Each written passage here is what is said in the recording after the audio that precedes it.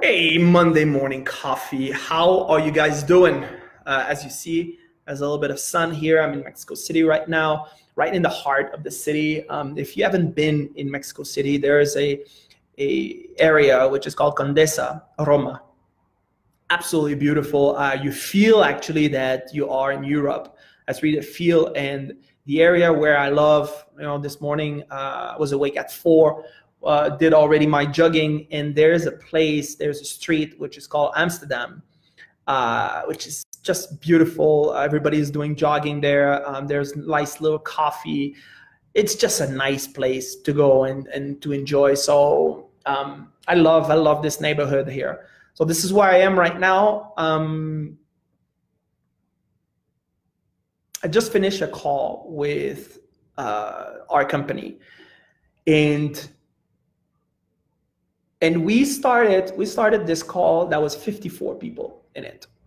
And we finished half with the people like 27 and this is really what is happening with most of what we're doing is we're starting something because it sounds good because we want to belong because um, whatever reason. But then we're not finishing and today was the last call. This is so, so important that you're persistent into whatever endeavor that you're taking. Because you will not figure it out right away. You will not get the success right away. And this is one part that I see why people are not successful. Like I have a friend that, man, like the amount of job that that friend have went through staggering. But how are you going to become an expert if you're jumping ship every single time that there's a better opportunity on the other side? Which granted you know that will always be opportunity there will always be something that sound better look better feels better whatever it is. But really the trick is to really find something that you know that you you would love. Not because you want to earn money because if you're making a decision based on gain on income on this you're going to quit. Because it's going to come a, po- a point where it's going to be so uncomfortable. It's going to be so much like not fun anymore that you will want to to quit. And that is what's happening with most people is they're starting something and it, it in the beginning you know it's always yeah it's new right? So it's fun. But then it comes the real work. And those people for the most part they're quitting. And if you quit because it's uncomfortable well you you're not going to be successful so you need to find something that you really, really love. Because when you're going to go through that hardship, because it, it's going to be a hardship, I, I promise you that. I had a, I had the, the boyfriend of a friend of mine was telling me just like, hey, how did you, how did you, you made it like, you know, in, into this, this town? Because it's so difficult. People are not open and blah, blah, blah. And, and what people are seeing, they're just seeing, they're just seeing the tip of the iceberg you haven't seen all the work, all the groundwork that we went through and everything that we needed to be doing in order to get there. And you always see just a little tip, a, little tip of the iceberg. You always see what I want to show you you don't see everything else that I've been going through in, in all the work. And sometimes, you know, we go back to our archives and we look at all the events that we did and all the stuff and all the association and, and uh, the collaboration. I mean, there's so much stuff that we've done, but that was never an option to quit. Why? Because I do what I'm passionate about. Now, I'm not telling you that like I, you know, I figure it out. I didn't. I haven't figured out. What I know is I really love what I'm doing. And my goal every single day is to get better at it every day. So if I'm getting better at what I'm doing today, and then tomorrow I'm better than today, then I'm successful. Yeah, but uh, Marc, you know, I have a hard time to eat and all. Well, trust me, I had that time too. I had that time that it was it was really really hard, and if we didn't have um, the help of my wife, so this is why it's very important to have a, a very powerful support group around you. If I didn't have her help,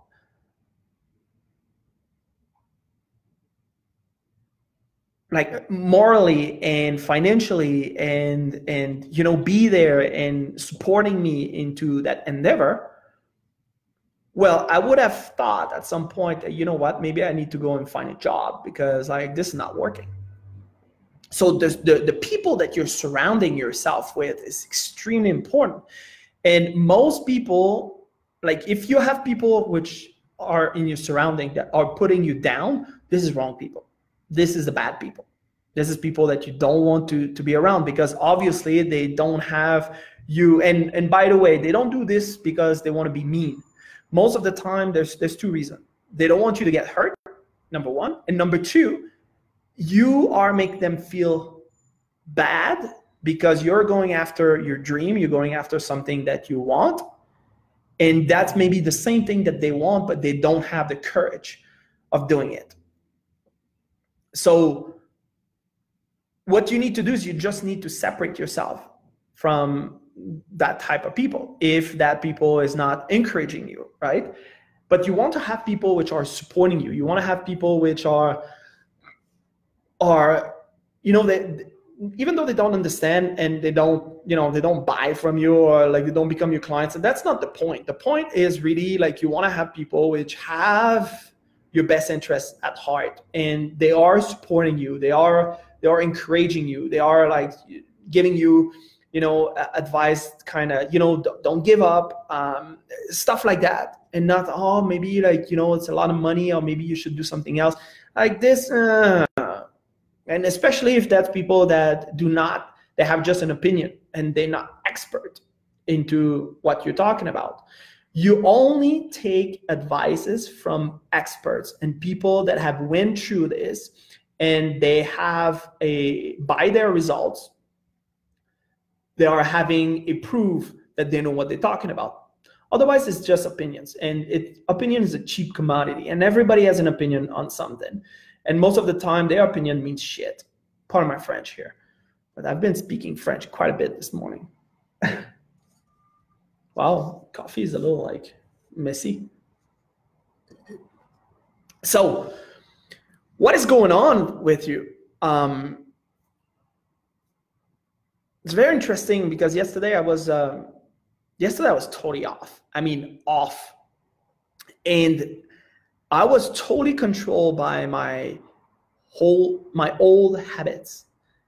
And I knew consciously like you need to do something. But then all of a sudden I was just like, you know what? I'm just gonna I'm just gonna let go, and I'm gonna do nothing. I'm to do absolutely nothing because right now like, I'm feeling the fight, that internal battle I'm having with myself. And, but if you're not realizing that what what I was doing yesterday was totally off and I was totally wrong and I was not going the right direction, if I don't realize this, how do I know that I'm walking in the right direction? so it's this balance that you need to understand. And sometimes you know you, you won't feel you won't feel like to go and and swing and and go like full swing into your goal and your vision and what you're after. Sometimes it's to feel like just uh, i don't know what it is today i really don't feel it like it's i just don't feel it, it it's good you know take a day you know sit down um, watch some movies uh, or just read a book, do something that you you don't do normally. It's good to take a step back because what that sometimes it's just like re re-energizing your yourself. And I know this this is where I was yesterday. And but I did not judge, which normally I would judge, oh, like you're so lazy, blah, blah, blah and then have this internal battle with myself. But yesterday I was like really calm and I was just observing. I was observing what was happening.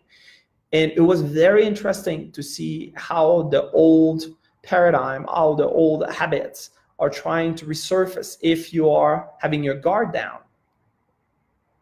So this is why it's important that you're habitually and daily having some exercise, which could be could be meditation, could be yoga, it could be like going running, um, exercising, whatever whatever it is, whatever works for you, whatever like uh, like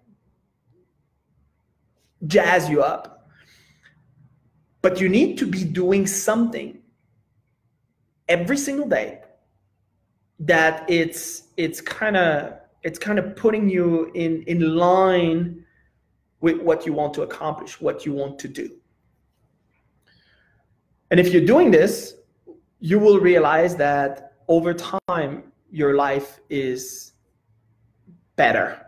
You you're you have more control. You don't you don't let the old habit dictate how you act how you you react how that you respond but you are having that mental control and especially over your imagination. Do not let your imagination wander because most of the time the imagination if it's wandering it's going to go into negative um, neg- negativity. And the reason for that is because there's so many negative feedback that are projected to us on a regular basis consistently. It comes from every side all the time so this is why it's very important to have a control over your imagination and go in places in your mind of where you would like to go of what you want to create. Does that make sense? This part is the work. This is where that you need to be working and focusing and putting your attention on. And if you look at professional athletes uh, which right now i have in mind like you know kobe bryant which uh, like god bless his heart um, which left way too early he was really really good at visualizing and putting the work so it's these two parts. So there's this mental work, mental attitude, mental toughness that needs to be there. Imagination and seeing yourself with your goal in your hands and, and succeeding. But as well, there is the work that needs to be put in every single day. There's both part because if you're putting the work but your imagination is into the negativity and into the thing that doesn't work and why that uh, it's not going the, the way you want your imagination is at the wrong place okay you are utilizing it against yourself but you cannot be sitting there like a, a monk with the leg crossed behind your head and just thinking that because you're imagining things gonna unfold and work on it on its own. That is not happening. So, and this is where that, you know, if you talk about metaphysics and some of, of those programs and stuff out there, which the law of attraction, one of the reasons why it, it uh, so many people are don't do not believe in it, it's because that there was no prescribed action attached with the visualization and the thinking and the positivity which goes with it. That's not enough. You need to take positive action as well. You need to be emotionally involved with what you're thinking and what you're visualizing and, and what you're bringing to you, attracting to you. But there's some so many actions that you need to be taken every single day. Otherwise, it's incomplete. Right? And this is the part I think that most people do not understand. You know about it, but you don't understand it. And we just had this in the conversation that I just had, and uh, that was as well part of the the event that just finished uh, last weekend, the paradigm shift, where that so many people says, "Yeah, I know this." Like I have a client that tells me, "Yeah, but I know all this." It's good. You might know it, but are you able to understand it? number one. And number two, are you capable of applying it? And remember, you understand a thing only when you can explain that thing to someone else and the other person is capable of understanding it and applying it. This is where you understand. So just knowing is not enough. It's not good enough. It's truly the understanding and application of information that matters. Only when you understand and being able to apply the information will you get the success and uh, the results that you're looking for. So this is what I have for you today. Thank you so much for connecting with me. Um, I'm really, really excited about this week. Uh, next week, I'm gonna. Uh, I'm, I mean, I'm having a lot of things that I'm doing here, uh, but really excited. Excited for you. Excited like that you are. Um, you are here.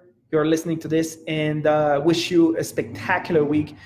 And give me your comments below into the comment box. Let me know what you think and we'll connect next Monday uh, at another episode of Monday Morning Coffee.